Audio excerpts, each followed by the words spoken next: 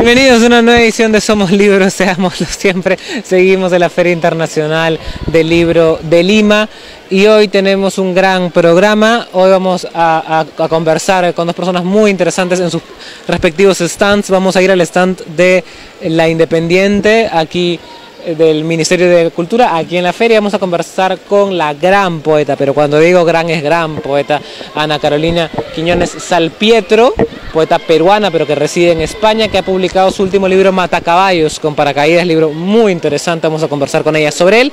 Y luego vamos a ir caminando o corriendo, dependiendo, el apuro, al stand de Malabares, la editorial, donde vamos a conversar con su jefe, Javier Zapata, quien además de ser un compilador eh, de libros, entre ellos Nuevos Relatos Mágicos 3, también es un diseñador de juegos que están, la están rompiendo acá en la feria, entre ellos el juego Presidente, que es una burla divertida y entretenida como debe ser de eh, nuestra coyuntura política eterna de corrupción.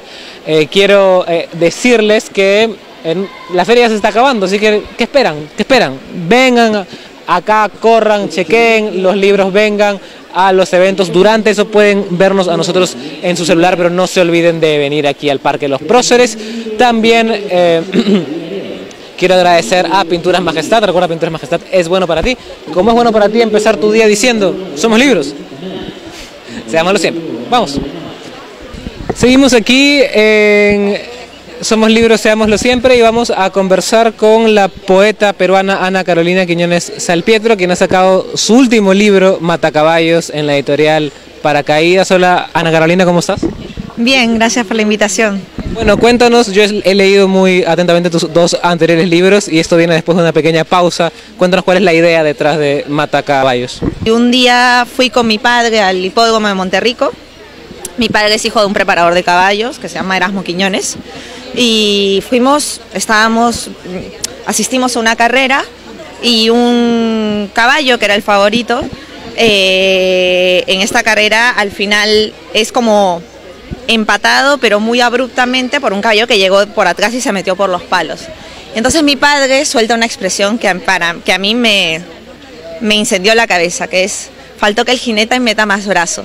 Y yo al escuchar esto, el meter brazo, me di cuenta que sí, ¿no? Que había todo un universo y todo un lenguaje en el hipódromo y un mundo de, disciplina, de trabajo duro, de una épica y unas reglas y, y me interesó mucho empezar a explorar por ahí. Y en esa exploración el libro inicia con una explicación pequeña que parece personal de, digamos, de una voz femenina que dice que su padre esperaba que fuera hombre y la crió siempre y, crió todo alrededor de la figura de Erasmo, que es su hijo hombre, que iba a seguir la tradición, por decirlo, patriarcal, ¿no? ¿Cómo fue un poco a partir de esos poemas revisitar esas cosas personales y, tan fuertes? Pues eh, creo que hay la relación del del, digamos, del, jinete con el caballo, la relación, las relaciones tensas del jinete con el caballo, del preparador con el caballo, del, padre con, el, con los hijos, del, los, del hijo con los entornos, entonces sí son temas como muy importantes.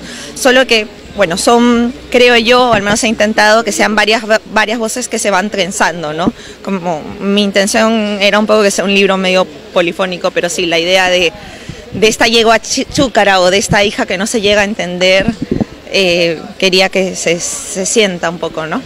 También es algo eh, bastante interesante, eh, digamos, lo leía y todas las del western, ¿no? A mí también me recordó un poco el, el tema cinematográfico del neorrealismo italiano, ¿no? Justo hablabas del italiano, en esto como que frío y por decirlo un, entre comillas seco y, que vas diciendo, pero cada línea, cada verso va a tener una potencia más fuerte por la simpleza con la que se dicen las cosas, ¿no? Eso es lo que está en tus otros libros también, ¿no? Como una sensación de es más importante lo que no se dice que lo que se dice, ¿no? Hay como algo callado. ¿Cómo entra eso después de un proceso de investigación casi periodístico? ¿Cómo entra esa, eh, ese ejercicio poético, ¿no? Bueno, eh, a mí me gusta mucho el cine, de hecho escribo sobre cine. Eh, me fui hace poco a, Barcelona a estudiar una maestría en cine y creo que en el cine algo muy importante es el fuera de campo. Y, sí, y en la poesía también, ¿no? Es lo que más que lo que se comunica, lo que se evoca, y que sería un poco el fuera de campo. Eh, a mí siempre me ha interesado mucho la poesía que, que, con imágenes, ¿no? Un poco más eh, una tradición americana, si se puede decir, ¿no? Y eso sumada a, mi interés por las películas, me interesaba que sea algo muy visual y muy sensorial y muy narrativo también. ¿Cómo fue, o sea, porque uno piensa ahora en los libros de poemas como, digamos, una colección de poemas, ¿no? Uno va, pero tú decías bien que lo divides en partes y que hay una casi una un hilo, por no llamarlo una, trama, ¿no? ¿En, qué momento el proceso comienza eso? ¿Al principio, escribiendo los, poemas o, después?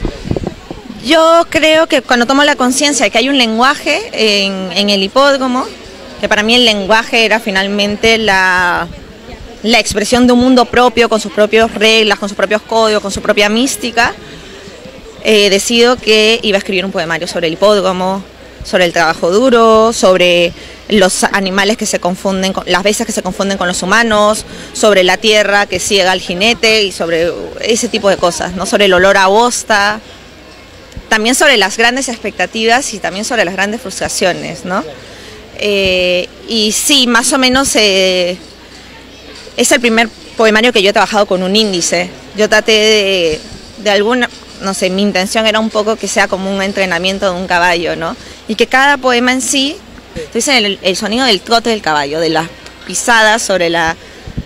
No, las carreras de caballos pueden ser en pasto o en, o en, arena o en tierra, que sea sobre, la, sobre el polvo, así. Yo para mí era muy interesante que tenga ese sonido. Y que vaya un poco increyendo, ¿no? Que vaya, porque se va armando el caballo, se va armando el libro, se va armando el, poema, se va armando el lenguaje. Sí, eso me, me, interesaba. Bueno, muchísimas gracias Ana Carolina. Y recuerden desde aquí con Ana Carolina que viene Salpietro, por cierto, su libro Matacaballos ya está en librerías. Y recuerden, somos libros. Seámoslo siempre. Gracias. Gracias a ti. Estamos aquí, seguimos en Somos Libros, seámoslo siempre, en la Feria Internacional del Libro de Lima, aquí en el Parque de los Próceres, y vamos a conversar, el placer de conversar con el diseñador de juegos, compilador, eh, y muchas cosas más, Javier Zapata, aquí en el stand de Malabares. Hola Javier, ¿cómo estás? Hola, ¿cómo estás? Bueno, cuéntanos, acá tenemos muchísimas cosas que has hecho, no sé con qué tiempo, pero increíblemente. Cuéntanos, empecemos por los juegos, ¿no? Tenemos este juego que estás lanzando aquí que se llama Presidente, y ya solo con eh, la tapa antes de ver las eh, instrucciones, todo es muy interesante. Cuéntanos cuál es la idea detrás. Bueno, se trata de la cuarta edición ya del juego Presidente que trae eh, nuevas tarjetas y más diversión, eh, que, trae, que está actualizado a la realidad política nacional. ¿No? Tenemos nuevas tarjetas como tenemos mayoría en el Congreso, o Lavo Dinero, No te comiste el chicharrón. Eh, básicamente es un juego de cartas donde tú tienes que conseguir la mayor cantidad de votos para ganar. ¿Y cómo consigues votos? Necesitas dinero y poder. Entonces tienes que jugar con estrategia tus cartas de dinero y poder para ganar votos. Ese monopolio político peruano, ¿no? Claro, creo que sí, lo has descrito bien. Bueno, y cuéntanos, eh, aparte de presidente, antes de pasar al libro que también está muy, bueno, eso no es el, único juego, sino también tienes Perú Cocina y Empresario, y todos tienen esta cuestión peruana. Cuéntanos cuál es la, idea detrás de, estos juegos y cómo nace todo esto, en verdad. Claro, sí, mira, en Malabares siempre hemos querido estar orgullosos de lo peruano, pero no de la historia, no de lo pasado, sino de lo presente. Entonces, eh, nuestros trabajos, nuestros productos tienen que ver con eso, ¿no? El Perú Cocina, por ejemplo, es un juego donde, tienes que preparar los platos más ricos de la comida peruana. Y te conviertes en chef y combinas ingredientes y preparas pues ceviche, anticuchos, lomo saltado. Lo llamamos el juego que provoca porque te pones a jugar y de ahí te da ganas de, de salir a comer, ¿no? Bueno, y pasando de juegos vamos a pasar al libro, que es eh, Nuevos Relatos Mágicos, es la parte 3 del libro. Cuéntanos un poquito, acaso es una, claramente una compilación de relatos mágicos de leyendas y mitos. Cuéntanos un, poco lo que va por ahí. Eh, algo bonito creo que está pasando es que no todos los relatos están ligados al miedo. Hay relatos bonitos donde aparece un abuelo fallecido o un familiar que viene a dar consuelo, que viene a saludar, que viene a estar cerca de sus personas, ¿no? de sus seres queridos.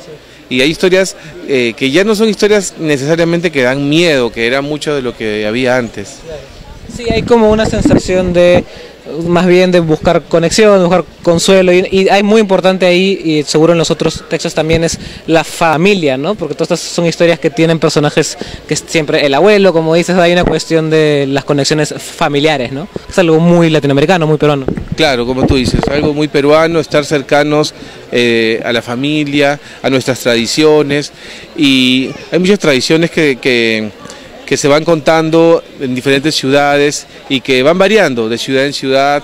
Y también es bonito conocer eh, las diferencias, ¿no? Había una, una tradición que la gente contaba sobre un joven que venía a enamorar y a robarse a, a la chiquilla. Y esa tradición ha cambiado el día de hoy y eso que ocurría en los pueblos y en las fiestas patronales ocurre hoy en la discoteca, ¿no? Y con toda la luz, con, con el reggaetón, y están ahí el, la misma historia, ¿no? Con algunas variantes. Bueno, Javier, muchísimas gracias. Realmente ahí hay niños que están eh, ansiosos por poder coger tus juegos y los libros, ya saben, Presidente, Perú Cocina, Empresario y el libro Nuevos Relatos Mágicos compilado por Javier. Y recuerden, desde aquí es el stand de Malabares, Somos Libros. Seámoslo siempre. Gracias Javier, muy amable. Muy amable. Bueno, eso ha sido todo por hoy. ¿Qué les puedo decir? La feria aún sigue, vengan por favor, está bien que nos vean en la laptop, está perfecto, todo chévere, pero pónganse, pongan Somos Libros en el celular y vienen acá, toman su combi, disfruten esta fiesta del libro. No hay muchos en nuestro país y esta de verdad es muy buena, está muy bien organizada. Muchísimas gracias a la organización, muchísimas gracias a Javier y a Ana Carolina por grandes entrevistas, muchísimas gracias a Pinturas Majestad. Pueden seguirnos en Somos Libros, pueden seguirnos en CNB, mejor dicho, síganos en CNB y en Somos Libros y también eh, pueden visitar la página web cnbtvdigital.com. La dirección debe estar apareciendo por aquí o por aquí o por allá, no lo sé. Demasiada tecnología para mí. Eh, pueden, pueden eh, ver ahí todos los programas, los subimos, renovamos la página semanalmente con todo el contenido. También eh, quiero decirles que si tienen algún evento, algún libro que van a publicar o un amigo va a publicar, nos pueden escribir, por favor. Estamos nosotros para ustedes, como ustedes están para nosotros, y también estamos para gritar a los cuatro vientos aquí en el Parque de los Próceres. Somos libros. Seámoslo siempre. Chao, hasta la próxima.